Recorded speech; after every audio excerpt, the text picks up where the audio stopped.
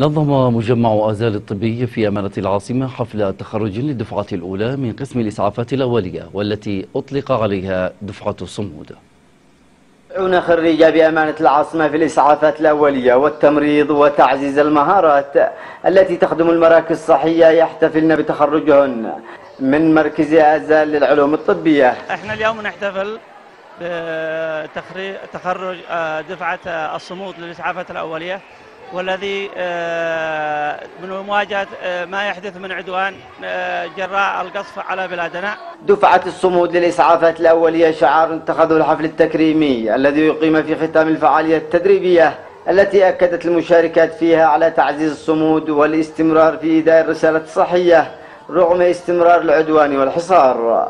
أنا درست الإسعافات الأولية لأنها أولا هي طموحي.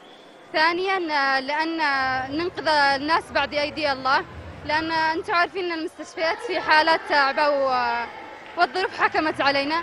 لذلك درسنا الإسعافات الأولية لكي ننقذ الناس ونساعدهم بما علينا وبما نستطيعنا. وفيما يستمر العدوان السعودي وحصاره الجائر واستهدافه للمراكز الصحية والمستشفيات تتواصل رسائل اليمنيين برفع الحصار على استيراد الأدوية وإنقاذ المستشفيات من الانهيار.